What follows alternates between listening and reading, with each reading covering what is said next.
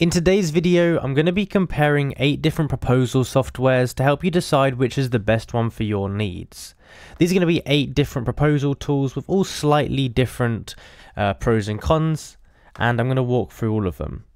So first of all, what makes a good proposal software, and what am I judging them based on? Well, first of all, ease of use.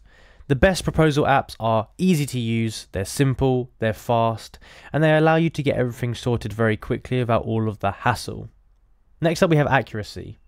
You want them to be accurate. So things are the saved content, the customized templates.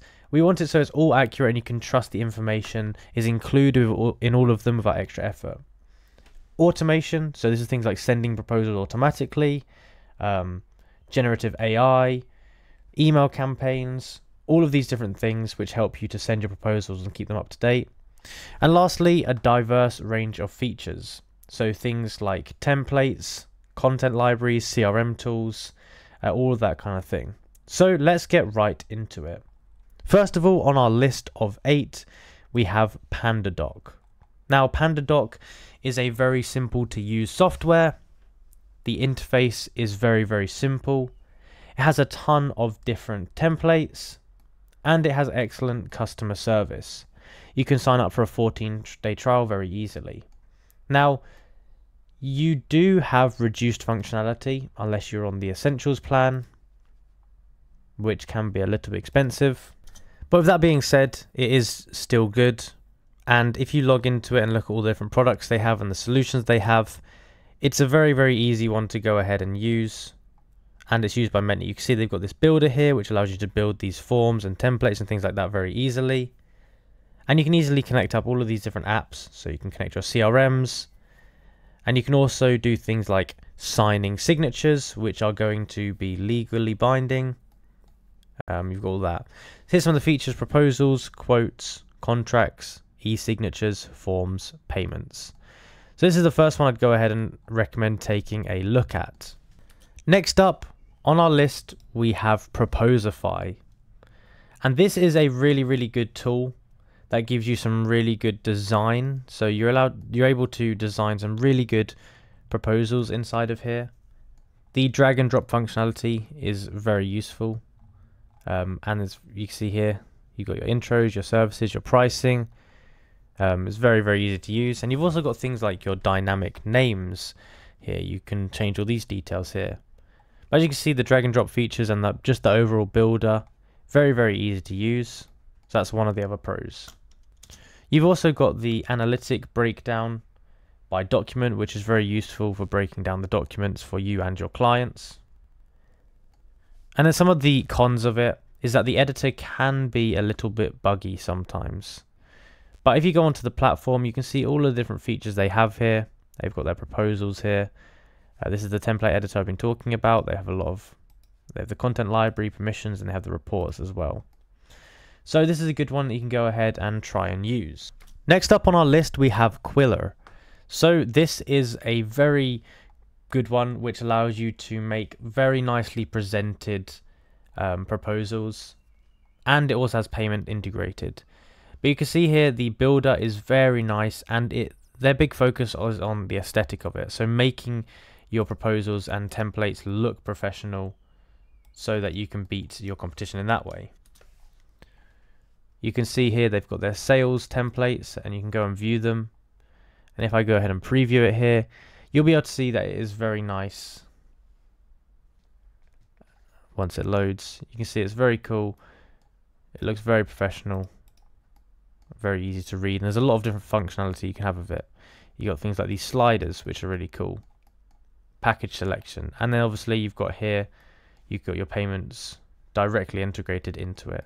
So this is a really, really good one for the building and the aesthetic. One of the downsides is that the quoting options and things like that are not super flexible. So some of the features are not available um, in here.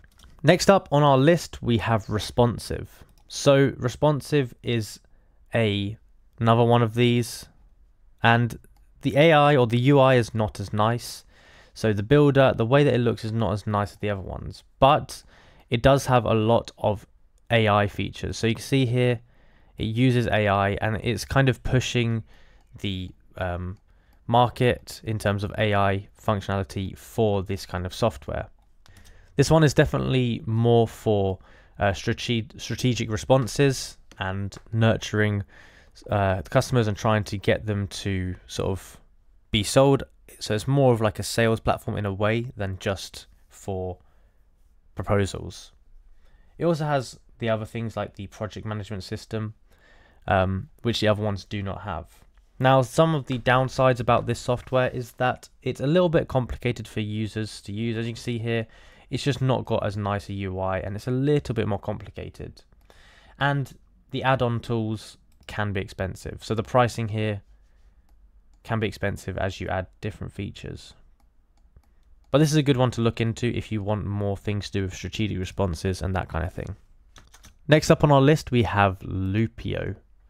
So this here, this one here is um, good for built-in response processing when you're scaling a business and it has collaborations and allows you to win more deals and things like that. It allows you to do things like monthly customer check-ins. Uh, you can auto-populate proposals from a library, so it's good if you're doing this at scale. But some of the downsides are it's not super good for building a good looking um, product or a good looking proposal. Uh, the plans aren't that great for small teams, so if you look at them, they can be a little bit expensive, and you're going to have to speak to them for the pricing. And you're also going to get limited notification options in terms of responding, that kind of thing. Next up on the list, we have Jotform. This has a wide range of templates, as you can see here, and it has all of these integrations as well. So you can integrate with your um, CRM, you can integrate with your storage, your email, your payments, all of these, which make it really good for an all-in-one platform. As you can see here, they have all of these built-in templates. Um, so this is another one which kind of focuses on the ease of use and also the simplicity for the customer and the way that it looks overall. It's very user friendly, uh, which is very good. Now, it doesn't have so much data in terms of analytics, and to use the uh, some of the advanced forms, you're going to have to upgrade to the pricing plan. But in terms of pricing, it's kind of expensive, but they do have a free plan here. But you can go ahead and see if this fits your needs, as this is quite a good one for other things as well, as you have more than just proposals, you have a lot of different form options here that you can go ahead and create here. Next up, we have Nusii. This one is a really nice drag and drop interface, as you can see here. It sends reminders and follow-ups to clients, which is very useful. And it also has a ton of ready-to-use proposal templates, which are simple to use, and they're um, made specifically for some niches. You can see SEO, you can see interior design, all of that. Now, it's a little bit hard to save, and the CRM integrations are pretty lim limited, but they do have a free trial, which you can go ahead and look at. Lastly, on the list, we have Bonsai.